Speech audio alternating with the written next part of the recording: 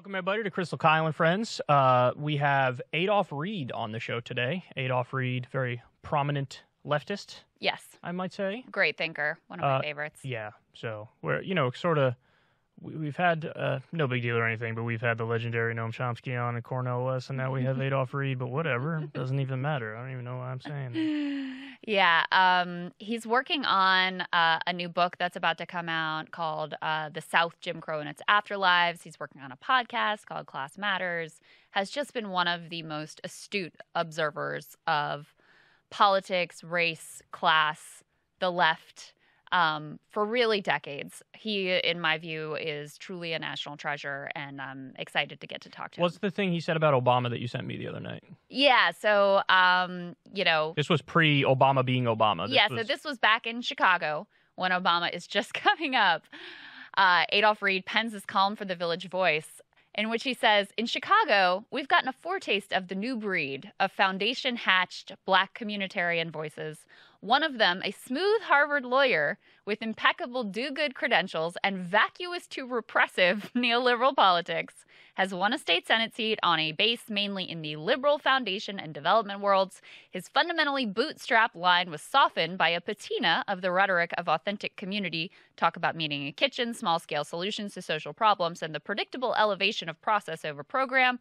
The point where identity politics converges with old fashioned middle class reform in favoring form over substance. And he goes on to predict that he thinks this model will be the new one of for politics. So. Talk about a prediction. Yeah. Good googly moogly. That was right. crazy. He yeah. totally nailed it. And and that's the way his observations are very, you know, tend to be very uh, prescient and on point. So. Well, that certainly is prescient and on point. hmm Um, so before we get to that, let's talk a little bit about this. Uh, so This is something. Chris Cuomo has probably the most unlikely defender you could ever imagine. One Tucker Carlson on Fox News. Um, so why don't we go ahead and run that first video? But Andrew Cuomo was Chris Cuomo's brother. And that's what you do with brothers, even the loathsome ones. You help them when they need it. Period. It's called loyalty.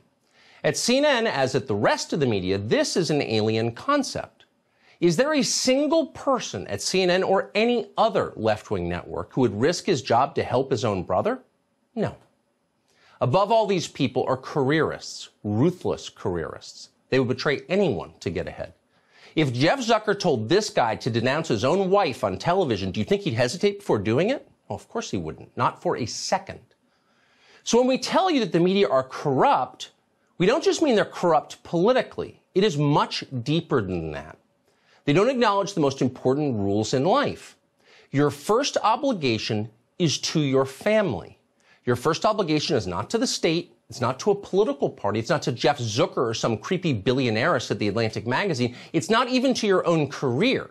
Your most basic obligation is to the people you are related to. When they need your help, no matter who they are, even if they're the governor of a state, even if they're horrible people, you help them anyway, because it's your family. Chris Cuomo may be an idiot, and he is, but he understands that. What a thing to be fired for. Wow. I did not see that one coming. What a sanctimonious prick. So let me explain exactly why he's wrong here. Okay. He's not wrong about, oh, you help your family no matter what. I think like 98% of people would help their family no matter what. There are some limits, but yes. Okay, fair enough. Yes. If somebody commits a quadruple murder and raped a baby, like of course there Right. there are limits, but generally speaking, yes, you help your family Believe no matter family what. loyalty. What he's not telling you is there is a dichotomy here. You want to help your brother? Fine. Resign from your shitty CNN show. Period. Okay, your job is to be a journalist. Your job is to be a reporter. You have failed at that time and time and time again. You had Andrew Cuomo on your show joking around about mom's spaghetti in your Sunday dinners, holding large Q-tips for no apparent reason, giving him fluff jobs on a regular basis, covering up his corruption. At the time he was on the show, there was already the story where Andrew Cuomo opened up this anti-corruption commission, and then as soon as that commission looked into him and his allies, he shut it down. Right. One of Andrew Cuomo's top allies is in prison because he was corrupt. There's a thousand scandals I could talk about involving Andrew Cuomo. The other one, the bridge in New York that's named after his father, they used the wrong supplies on the bridge, which made the bridge dangerous. Then he tried to cover it up. Right. The number of, of scandals around Andrew Cuomo are endless. I haven't even touched the COVID ones yet. Right. I mean, the fact that this guy Nursing home, covering up nursing deaths, home. How many people that stuff. died because Andrew Cuomo was like, nah, send the COVID positive Using people back in there. Covered it up. write his book. As he's covering up the deaths of these people in the nursing home, he's getting paid millions of dollars to write a book on how he defeated COVID. Are you fucking kidding me? Your job as a journalist was not to give your brother nothing but endless praise on air. And then the second the shit hits the fan, he comes out there and what does he say? Oh, I can't talk about it because I have a pro- a professional cover- responsibility can't to not cover brother. it. So you could cover it when it was nothing but uh, puppies good. and rainbows and singing kumbaya and holding hands. And now you can't cover it because it's negative stuff. Get out of here. Yeah. So you want to be loyal to your family? Fine. Leave your show. But what does Tucker Carlson do? He just does a, a- an unmitigated defense of him. There's no caveats. There's no hedges. There's no drop your show. And this of all the times Tucker would attack this guy no matter what. If fucking Chris Cuomo came out and said the sky's blue, Tucker would be like, it's not. It's fuck. It's a. It's it's turquoise. It's turquoise. but now is when you defend him. What a hack! He's just looking for an angle to attack another CNN host because he's just as big of a hack as Chris Cuomo is. Yes. He leaves something really important out of it. He tries to set up this false dichotomy between the career and the family. He leaves out of the equation the responsibility to the audience. That's right. The responsibility to, like, you know, portray the news and do your job as a journalist because people depend on that and because that's an important function within society. That's left out entirely. And as you're pointing out, he leaves out, like, this was the only option is to help your brother and lie to the public. No, he could have said, this is a time when my family needs me, my brother needs me. That's my top priority. And I'm either going to resign or I'm going to take a leave of absence. And I hope you'll understand that. There were other options on the table. And here's the other piece is like, this dude lied about exactly how much he helped his brother. His he initially was like, oh, it's just a couple of phone calls, and then more kept coming out, and so he ha- kept having to cop to more and more. And I think even he's friends, close friends with Jeff Zucker. I think he even was lying to Zucker about just how intimately involved here he was. And when the shit really hit the fan was when it came out that he was using his professional network to try to dig up dirt on Doing like the Oppo women, research on these on- women. right? On the women, Fine, go do that, but don't be a fucking journalist. You're not a journalist. Right. This isn't that difficult. Exactly, exactly. So, look, I don't think anyone would fault, even though Andrew Cuomo is disgusting, and frankly, the sexual harassment, as disgusting as that was, is like the tip of the iceberg of all of the horrible things that he did and his abuse of power and whatever. But I don't think anyone would fault Chris Cuomo for helping his brother. What we fault you for is lying to the public and doing being a failure as a journalist, which again is an important function. That's what we fault you for. So this is absurd that he picks this point and it feels like like you said he just wants to take a shot at like another CNN anchor and he also because now other parts of the mainstream press are on board with Cuomo getting fired he can't possibly like just- be on board with that. mindless contrarianism. Let me tell, let me mm-hmm. explain to you guys something about contrarianism. Can, if you're a contrarian across the board, you're actually not a fucking contrarian. You're just as bandwagony as the people who are on the original bandwagon. It's actually more embarrassing because you're basing all your positions on whatever they are. I'm gonna the opposite. opposite. Oh, At you're so fucking leading- intellectual. At Wow. least they're leading with the conventional wisdom, Right, like staking yeah. out their claims first. You're just acting in reaction And he to thinks what everybody this- else is doing. And he thinks this shit is like brave. It's not brave. You're just an idiot. And one more point before we throw to the next video, which is actually somehow worse. Um, he talks about the media is corrupt. Yeah, Tucker, they are, including Fox News. Are you kidding me? Fox News is the Republican Party propaganda network, and you know it. Trump was a fake populist, and then when Trump got through his biggest legislative accomplishment, a tax cut for the top 1%, where 83% of the benefits went to the top 1%, Tucker and all of his allies on Fox News said Dickie McGee's acts as they posture like, I'm for the working man or whatever. Right. And then they pass this legislation, which is terrible for working people. He's got nothing to say about it. So, yes, the media is corrupt.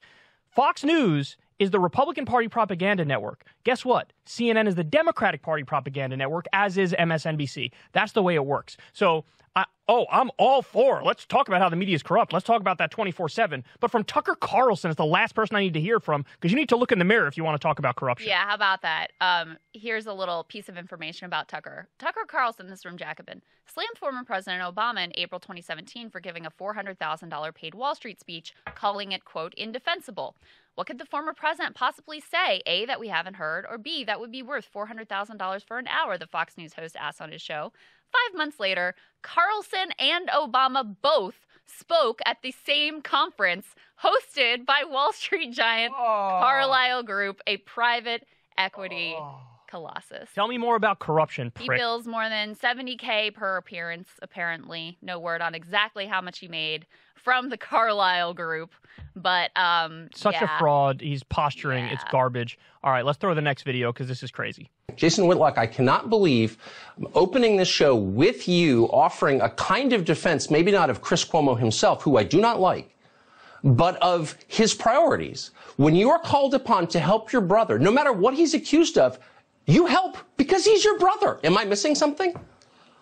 Tucker, uh, you're not missing anything at all. But I, I've got a completely different take on this in terms of what the overall lesson here is uh, for both Cuomo brothers.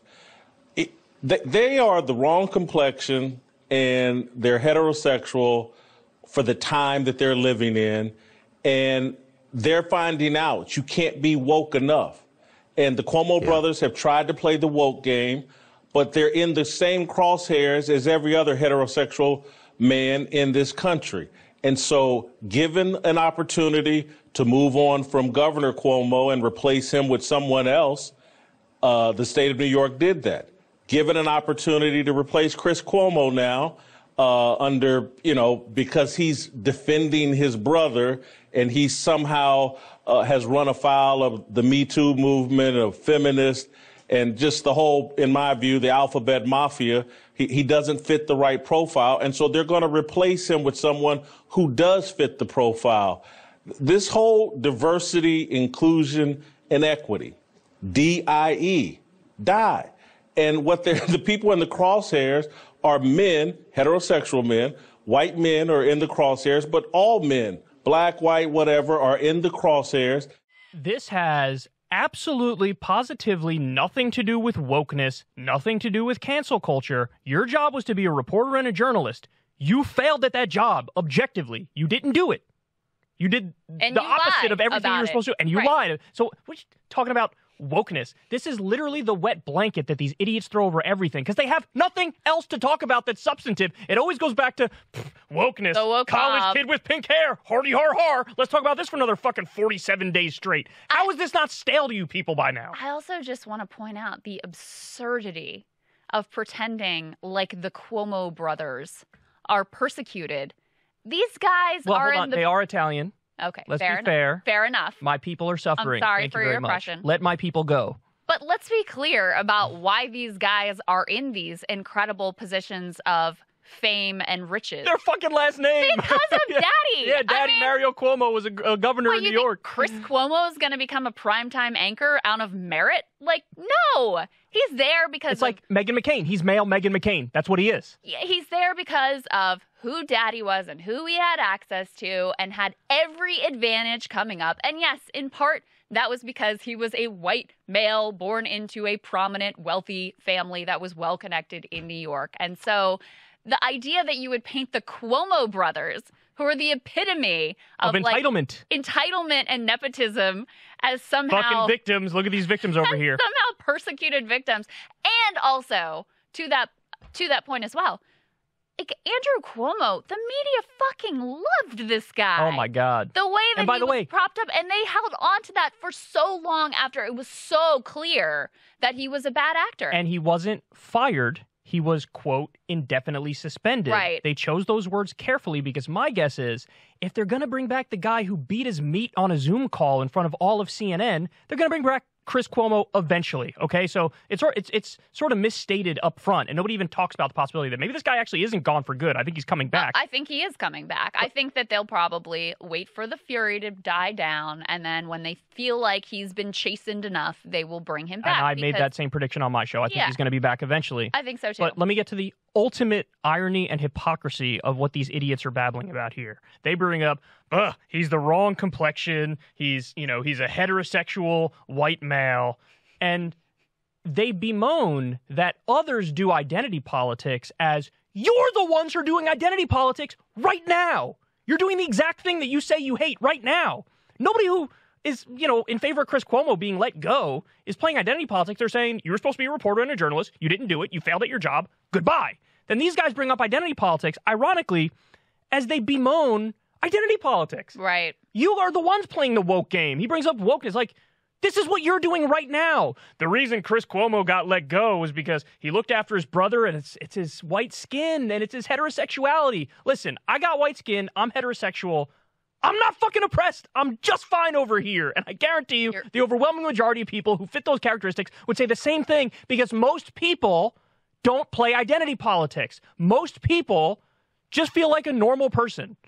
Yes. And, you know, I mean, we could play this game all day long. Marc Lamont Hill was fired For for From comments CNN. critical of Israel and pro Palestine. and exactly. he was let go like that when, you know, he he wasn't given the chance. Like Rick Santorum was ultimately let go, but he was given the chance to sort of like apologize and whatever. So if you wanted to play that game, you could. But the bottom line here is that Chris Cuomo failed at his job. It became manifestly obvious. It had already been manifestly obvious, but they managed to resist the pressure for a little while. It just became too blatant. He lied to them, he lied to his audience. He was unable to cover the stories that were really important in an objective way, covering up for his brother and using his professional network to do so. It was inexcusable, and ultimately, even CNN felt too ashamed to continue. If they didn't fire him after these new revelations, Tucker would have covered the new revelations and insisted, how the hell does this guy still have a job? Because his whole thing is just like, CNN bad. I get it. I talk about it all the time. Virtually every segment I do on CNN, I say CNN bad. Okay? But you can't just be a contrarian and work backwards from your conclusion all the time because that's intellectually dishonest, which is exactly what Tucker Carlson is. Yes. And also, you know, they there's also this instinct now to wave your hand at any sort of sexual abuse or sexual harassment allegations. The Like, details of the all- Cuomo one are like, look, I'm, I'm, I agree that you have to evaluate everything on a case by case basis and be objective. It's not. I, I never, you know, signed in, uh, signed on to the whole like believe all women. Believe, what does that even mean? Believe all women. You have to evidence matters. Like facts matter about the situation. But when you look at all of the claims and you go through them with a fine tooth comb, are there maybe two or three of them that are not fair? Sure, but are plenty of them super questionable and super fair? Yes. Yes, indeed. And you even have records of, you know, a state trooper who was moved up to be in proximity to him. You have all of the supporting evidence and woman after woman after woman who made claims. So there's no doubt that there was plenty of wrongdoing going on there. So listen, family loyalty is fine. He could have resigned his job. He could have taken a leave of absence. He could have been upfront with his audience, upfront with the network. He didn't do any of that. And belatedly, much belatedly, he's paying some kind of a price. Although, like Yeah. you, I think he will be back. And Tucker Carlson, go hang out with Chris Cuomo at your yacht club, where I'm sure you're both members. yes,